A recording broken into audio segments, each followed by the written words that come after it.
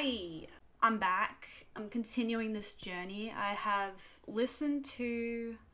Actually, have I even listened to the debut of Black Sabbath? Maybe I finished this whole journey with listening to the debut. I own the debut on record, but I may have never listened to it. And then I've listened to Paranoid. I've listened to Volume 4. And what's the middle one? What's the third one called? Master of Reality, of course, the purple one. So I've listened to those three records in my Sabbath journey they're like the first album reactions I actually did on this channel, funnily enough. And now I'm going on to their fifth album, Sabbath Bloody Sabbath. This is after I put up a Patreon poll where I asked for what they went to see. They went to see Metal, of course. I knew that. Um, and then quite a few people said, you got to continue the Sabbath journey. I have one dude, what's his name? Is it Stevie Licious? No, it's not Stevie Licious. Who is it? Ah, Michael. Michael's been asking me to react to Heaven and Hell, I think, for years. It's the first album of Dio as a singer, which would be great. I also love Ozzy Osbourne, though, so you can't really go wrong. But I need to do this in order. Like, I need to continue this, go on to the fifth album, um, and eventually get to Heaven and Hell. I think that's like their ninth or, yeah, their ninth album. So we're listening to Sabbath Bloody Sabbath today to make our way through to Heaven and Hell eventually for Michael. Let's hope it's good. This is 1973. I can't believe that these guys have they've released um five albums in the course of four years, I think, at this point. If you would like to see a full cut of this reaction, it will be up on my Patreon. I put all my full cuts up there. Sometimes I have to cut down these videos quite a lot due to my videos getting blocked and stuff like that. You would have seen that last week with Damn Damn Damned, Neat Neat Neat. That had to be cut like crazy. So you have like the full cuts up on Patreon.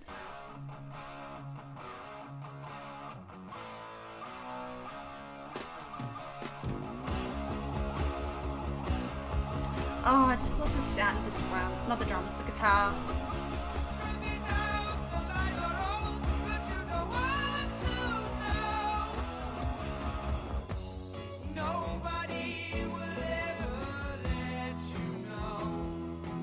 Oh, I see.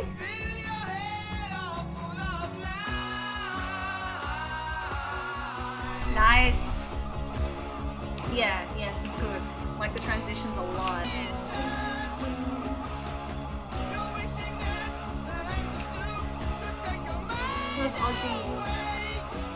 Ozzy up high.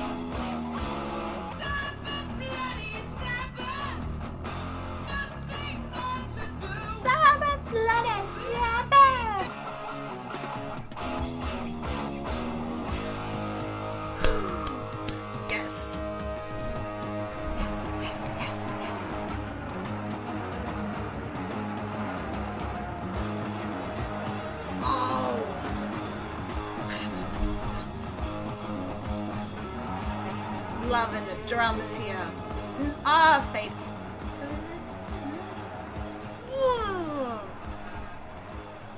How they do that? Oh my gosh. Really awesome song. I vibed that one a lot. I loved all the change ups, the bridge section.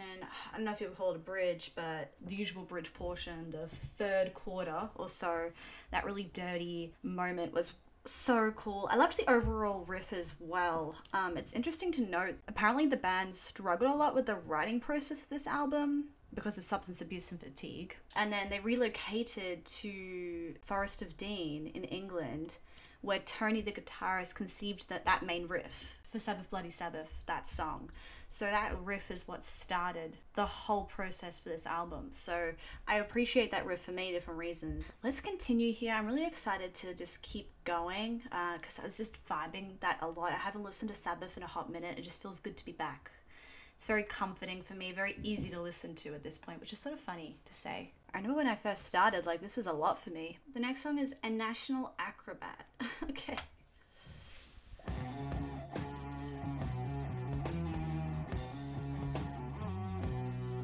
I just love, I said it at the start of the last song, but I love the sound of the guitar. It feels very warm.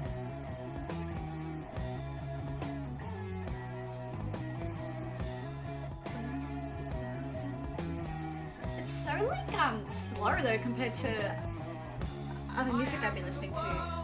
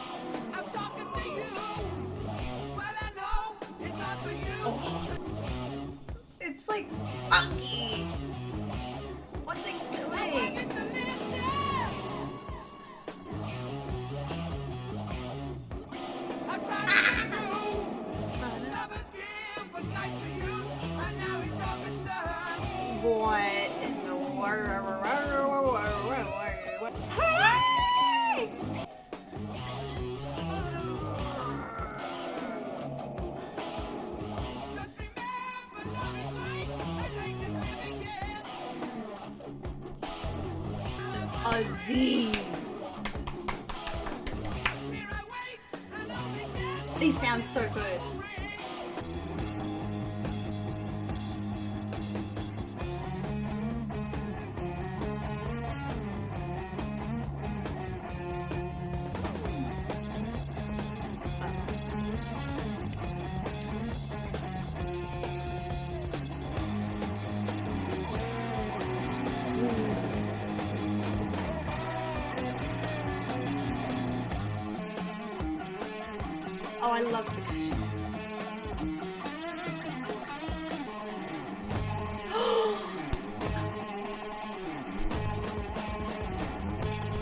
Oh, it did it. It did it.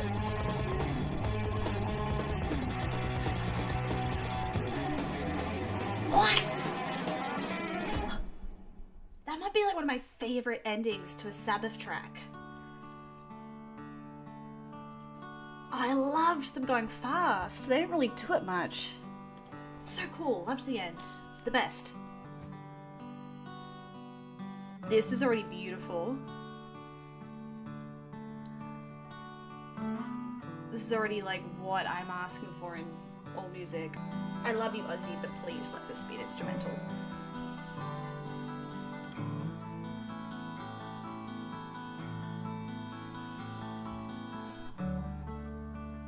Oh.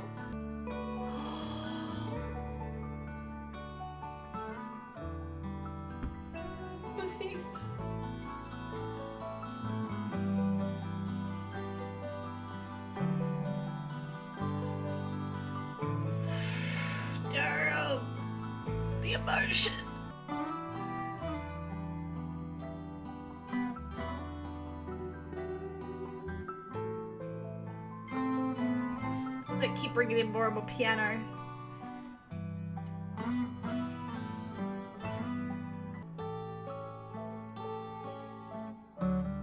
Oh my gosh, you wouldn't think this stuff would be in like their discography. Like I had no idea when I just thought of Black Sabbath. I'd never listened to anything yet. You'd never think this beautiful instrumental stuff would be in there. And where's the other one that I would add it to? No joke, just added that to five different playlists.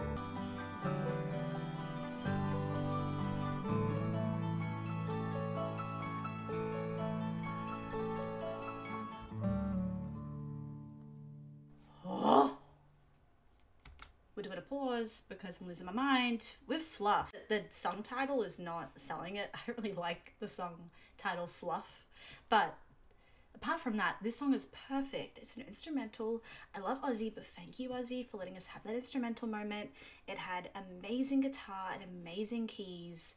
Loved the combination of them, how they would come in and out and let each other shine. That type of music is my go to. I listen to so much instrumental music, I listen to a lot of ambient music, a lot of soundtracks. I love music that I can sit and think to and just feel to as well. Like, there doesn't have to be lyrics for me to just love a song. Um, and that's a great example of it. This is gonna sound really cheesy, but that type of music reminds me of falling in love.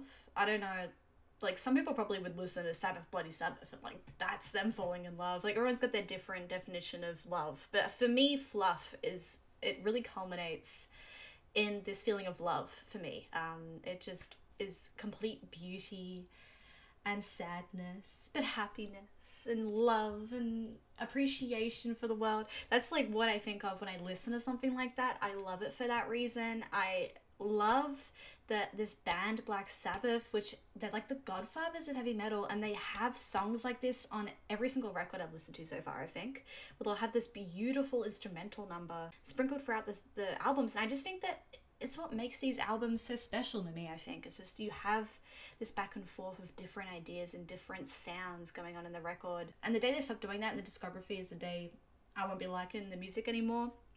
Because Fluff is not a very popular song on this record, but it is my favorite song I've heard so far. So that is what makes Sabbath special to me. Is I can appreciate the metal stuff. I love the metal, but Fluff is where the heart of it all is for me. The fact that these like metal dudes are writing a song like Fluff is just so cute to me. Fluff is the best. It's why I love Sabbath, weirdly. Hopefully some people understand what I mean. Let's go on to Sabbra Cadabra.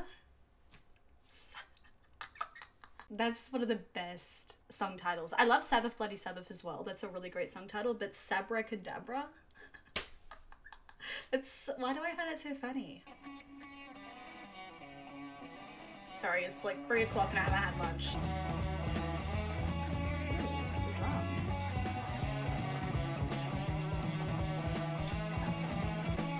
The bass going up and up. Ooh. Wait.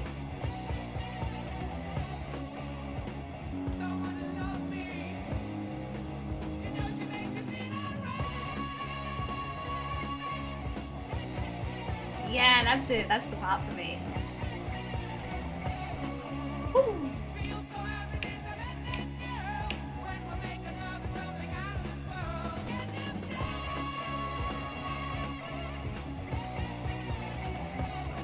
Yeah. Wow, they're doing so many change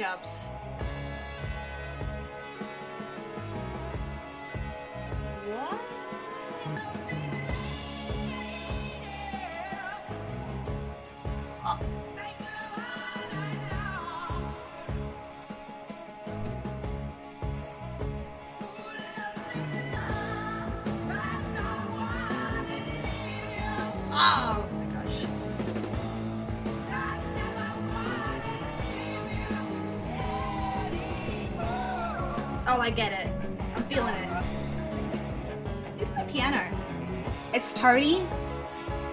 Tony? Is Tony like my new favorite?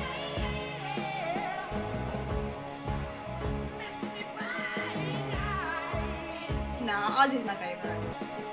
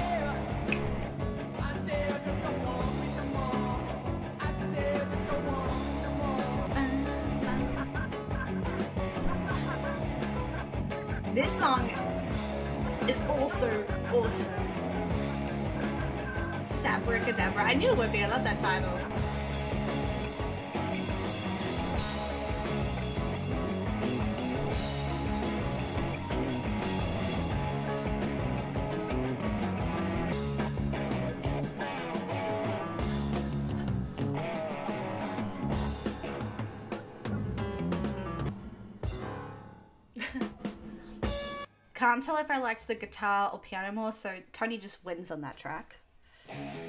Really liked the um the echo and whatever effects on Ozzy's voice in that track as well. Really cool.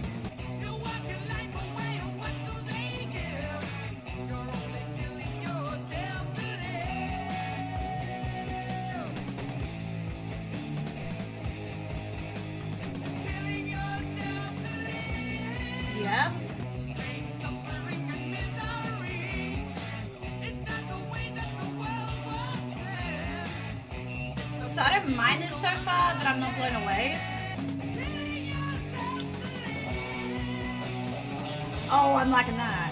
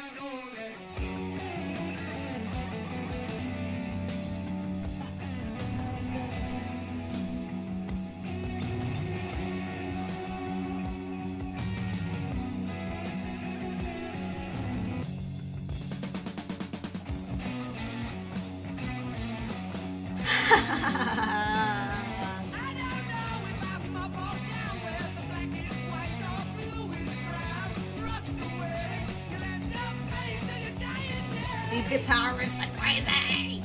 Da, da, da, da, da.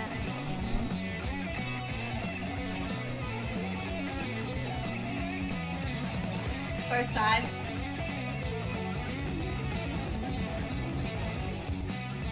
Same thing with a national acrobat. Oh! Why didn't you do that earlier? It's been the question. Go to a pause for the last three tracks. I mean, that's also another heart. Like, I just keep giving out hearts here, though. It's five for five hearts with this album. What is happening? There has to be a song I don't like. It always happens. There's, there's no way I love every single song. I thought maybe it would be Killing Yourself to Live, because that first two or so minutes wasn't really doing it for me, but then the guitar solo. I feel like the guitar was just elevated after that. It's just a sound to it that wasn't there before the guitar solo. The sped up tempo and Sabbra Cadabra. That is my second favorite track on the album after Fluff. Sabbra Cadabra actually had a bit of a groove to it, a bit of soul to it. Um, I loved the piano. Tony's insane on the piano here with Fluff and Sabbra Cadabra. He's just bringing the keys. I love piano. You can play piano on anything, and I will fall in love. Who are you?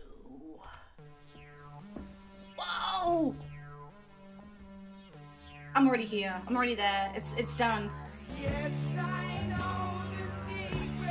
What? What's my secret?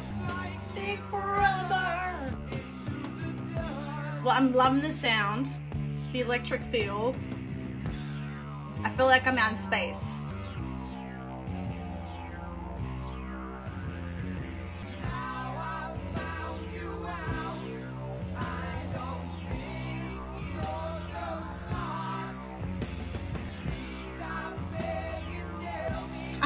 Like these lyrics too. They're super wacky.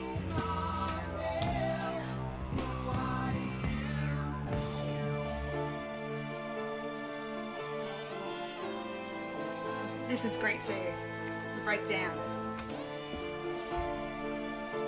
This is Tony's keys.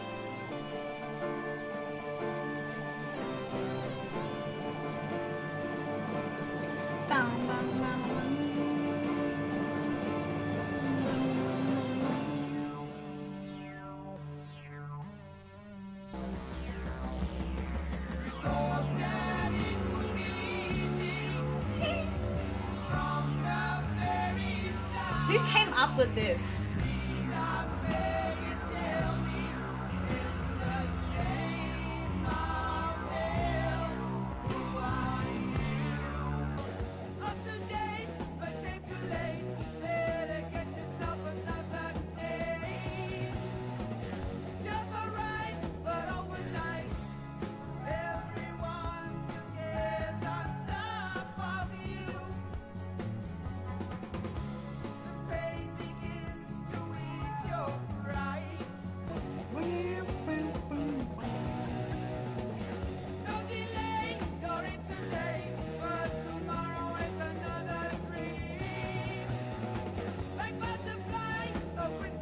Easy the ears. A bit more happy.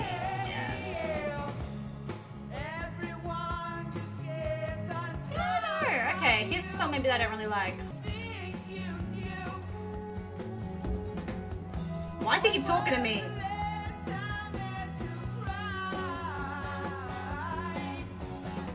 Honestly, stop asking me personal questions.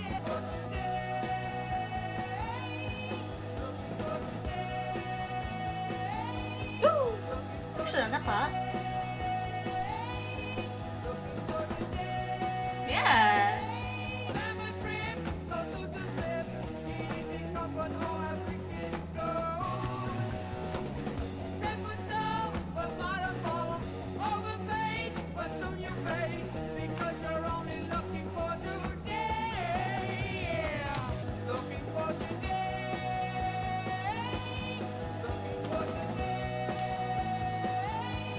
they change it out.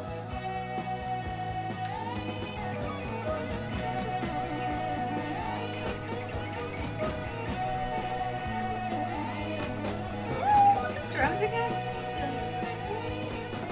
It's not.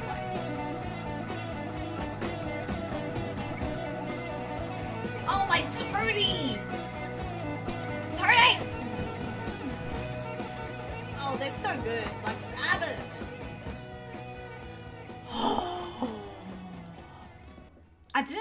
Overall like the song, but that last minute, yeah, really, really into it.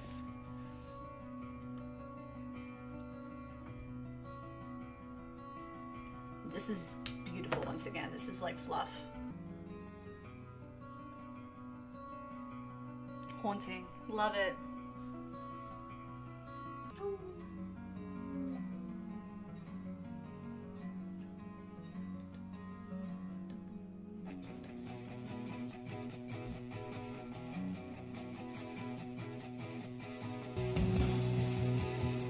Intro section.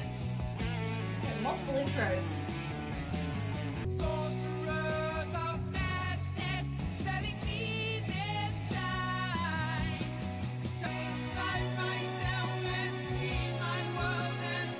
Best strings I've picked up on. Very welcome addition.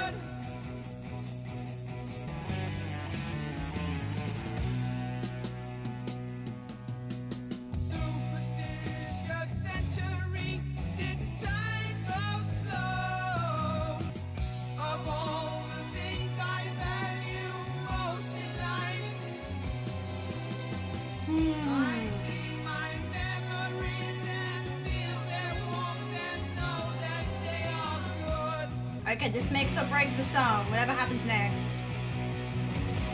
I'm on the I'm on the fence right now.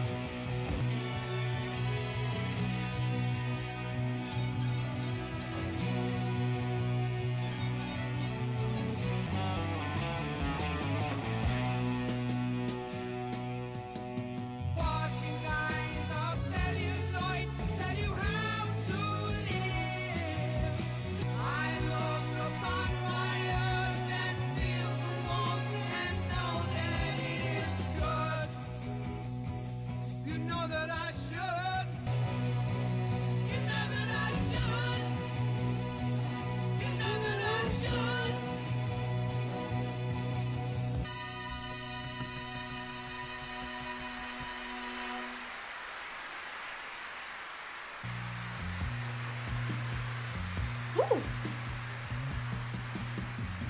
A little bit of a clap at the end. Okay, I, I really like that album. Off the back of Who Are You, I was for a second thinking, what is happening with this album? Like, where's the song I don't like? Um, but we found it. It was Spiral Architect. I really like that song. And looking for today, yeah, a half. So overall, we've got a 6.5 out of 8. So yeah, it was an 81.25, which is pretty solid. Yeah, pretty um pretty standard. So I feel like I liked it quite a lot. Like I don't feel like it sits too much more below the other albums. I think this is actually quite solid. And at this point, I do love everything I've heard from them so far. Like every album has been quite a masterpiece for me. I really like this album. I feel that maybe the last two songs suffered from not enough like dare I say ideas? I feel like all the ideas are in the first six tracks of this album and they're so packed full of ideas that they are all in such incredible songs. And then looking for today in Spiral Architect it's sort of like I said a bit more lackluster and just like no change ups really. Pretty just standard songwriting song progression very repetitive. Even though Fluff and Who Are You both don't do too many change ups either I feel that they work better because they're still weird and different from the other usual just solid Black Sabbath metal tracks and they fit perfectly with two just metal tracks before each one. So I think they work well to break up the album. It's just looking for today in Spiral Architect just didn't hold down its third for me, unfortunately. So yeah, but oh my gosh, if I'm just talking about the six tracks that start off this album. This album is like near perfection. I loved all the different change ups. I love Tony, is what I'm realizing. This album's making me realize how much I love Tony because I've always been so stuck on Ozzy. But Tony's guitar and piano across the first six tracks, they really drew me in. They were really keeping me interested. I feel like the guitar definitely lacked a little bit on track eight, especially. Yeah, I'm not gonna lie, the first six tracks, like Tony blew me away. They really know how to do the transitions quite well, that the song still blends and feels like the one song, even though it can sound quite different throughout the whole entire track. Back on the Black Sabbath train, on the journey again. I've got to listen to Sabotage next for sure, and then I think I might just skip to Heaven and Hell. Let me know if that's probably the best option here. I'm not sure, but that's what I'm thinking. Listen to album six, listen to album nine, and then I might listen to album one. I have I feel like I never actually fully listened to album one. I think I listened to a few tracks and I bought the album in anticipation to listen to it. I sort of do that sometimes. Sometimes I will sit there and I know I love an album, but actually I haven't listened to it yet. Just because I've listened to like one or two tracks and I just know. I just know it's going to be the best album and I will buy it. I'm excited to listen to more Sabbath soon. I think Paranoid is still my favorite Black Sabbath album. That's for sure, but this one definitely is quite a solid album in the discography for me. So yeah, I hope you've enjoyed watching this video. Um, I would say that Spiral Architect is my least favorite track, and then Sabbra Cadabra I can't get over that title. And Fluff were my two favorite songs. All right. See you later. Bye.